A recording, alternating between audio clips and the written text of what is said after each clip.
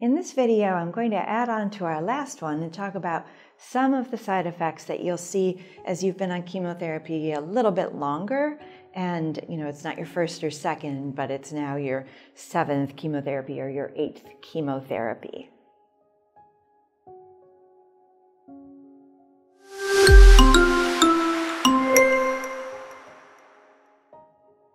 So we've covered fatigue, we've covered nausea and vomiting. I'd like to go next to taste changes, which we'll have another video uh, below that you can link to specifically about this, but it's quite common that people are surprised that their favorite foods don't taste good anymore and that they're craving things that they haven't eaten. I have a patient who's a vegetarian who during chemotherapy started craving hamburgers. So don't be surprised if that happens. I also recommend you don't eat your favorite foods because unless you want to develop an aversion to them, that could be something you no longer love later on, and that's a loss. So if you love your mom's chocolate chip cookies and you have them during chemo, you may never want them again. I'm sure you know what I'm talking about. I, for example, can never eat corn soup because I was given it when I was a child and was sick. So the side effects uh, that really can interfere with quality of life are fatigue, nausea, vomiting, changes in your appetite. Over time, the fatigue can get worse, so I want you to know that. You want to be careful what you plan to do. Don't overload your schedule. Uh, as I've said in other videos, you don't want to plan to run the fundraiser around the time you're getting chemotherapy. You might think it's going to distract you, but actually, you're going to find yourself spread really thin and feel bad that you let people down when maybe you know being extra kind to yourself during this time is something you want to emphasize. It's a pretty extreme time in your life. Other side effects that creep up over time are thinning of the hair, and for some people, loss of the hair. And that's not just the hair on your head, it can be over multiple cycles of chemotherapy, your eyebrows, uh, it can be the hair on your legs, your pubic hair, etc um, eyelashes seem to be the last to go and they grow in more quickly than other body hair. So it's interesting, it's very upsetting when we lose our eyelashes. Um, it changes how we look, uh, but know that they're made of different hair. They come out later and they grow in very quickly.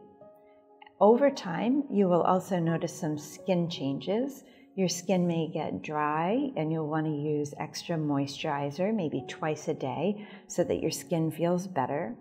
Another thing to know about the skin is if you have more pigment in your skin, you're of Mediterranean heritage, or you're a black person getting chemotherapy, you may start to notice that you get um, hyperpigmented spots on your palms or on the back of your hands, meaning just spots that you didn't have before and also darkening of the nail beds.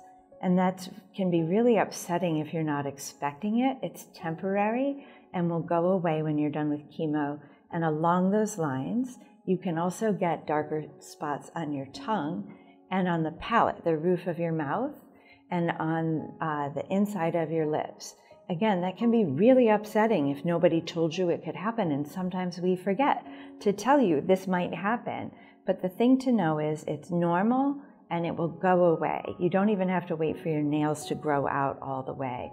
It actually recedes pretty quickly, but it's good to know. Other side effects diarrhea, constipation. Sounds like how can you get both of those? But right after uh, some chemo, you can have some diarrhea, and then the diarrhea stops, and all of a sudden you're really bound up. So it's important to make sure that you have the doctor tell you can those side effects occur and what you can have at home to manage constipation and diarrhea because both of those can make you really uncomfortable in your stomach. And most of the things we use are available over the counter. Sometimes we do need to give you something as a prescription.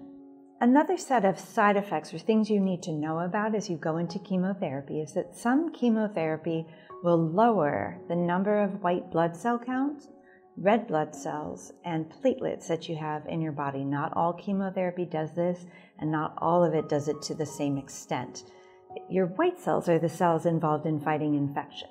If you get a fever, you'll want to let your doctor know, and if the fever is low enough and has lasted long enough, it's very likely that you'll need to have blood work to make sure that your white cell counts are still in a healthy range. If your white cell counts are low and you run a fever, it may be that you have a bacterial infection in your body. This is a medical emergency.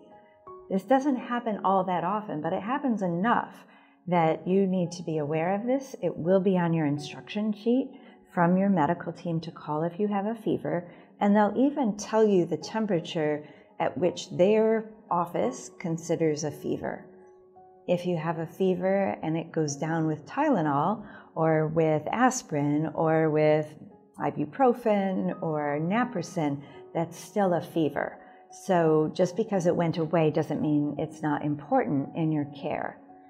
If your red blood cells go down with treatment, and we tend to see this with more and more cycles or numbers of treatments, you might notice some fatigue and shortness of breath. Sometimes we need to give people the gift of a transfusion from a volunteer donor so that you feel um, fitter and that you're more able to stay on schedule with your chemotherapy. Our blood supply is very safe. It's tested for so many things. It's also tested to make sure it's a match for you so that you don't have a reaction to the donor blood. If you're a friend or family member of somebody going through this, see if you can donate blood yourself. We're always short of blood, not just for people with cancer, but this is a plug for donating blood. If you're on medications, you can still donate blood. Um, it doesn't hurt, it's very quick, and we are always very grateful in the medical profession when people donate blood. Platelets tend not to go as low. Platelets are these tiny little cells that help us clot so we don't bleed or have too big a bruise. Some chemotherapy is more likely than other chemotherapy to lower the platelets. But if you notice that you're getting easy bruising and your doctor tells you your platelets are low, that all makes sense. Rarely do we have to modify, delay, change the doses of your chemotherapy because of red cell counts or platelets. Sometimes we do for white cell counts. We also can help prevent your white cells from going too low for too long by giving you shots that go under the skin, something called growth factors. And there are different brand names for growth factors. They don't make you grow taller, but they stimulate growth of white blood cells in your bone marrow. Bone marrow is in the long bones of your body, in your pelvis, even in our ribs, in our spine, and the growth factors can stimulate white cells to grow. Not everybody needs them, and if you get them when you don't need them, you can have this sort of exuberant response in your bone marrow, and that can cause some aches and pains. So if you wonder why we're not giving it to you, it's because we know if we give it when it's not necessary, it's not, you know, a walk in the park. It's like a party in your bone marrow and it's making a lot of noise. It's very disruptive. Um, in terms of uh, other symptoms, some people feel aches and pains when they get chemotherapy. Some chemos more or less likely to cause that. Um, the drugs like docetaxel, the brand name of which is Taxotere, or paclitaxel, the brand name of which is Taxol, they can cause some muscle pains those can be severe enough that you find yourself taking medicine to alleviate that discomfort, but it's not in everybody that it happens.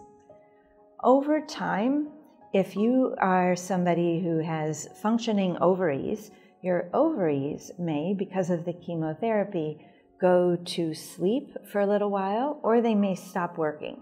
If you're in your 40s, you're much more late 50s, or I'm sorry, your 40s, late 40s, or early 50s, and you still have ovarian function, you may go into permanent menopause. So you're going through breast cancer treatment, now chemotherapy, and now you're having menopausal symptoms. Yep, and it kind of sucks. But we have ways of helping you manage those side effects. You just need to let us know that this is interfering with your life and to what extent. So we need to know this is really making it hard for you to get through chemotherapy or hard for you to sleep. Don't just tell us the symptom, but tell us what it's impacting, because then we get a better picture of the impact on your life.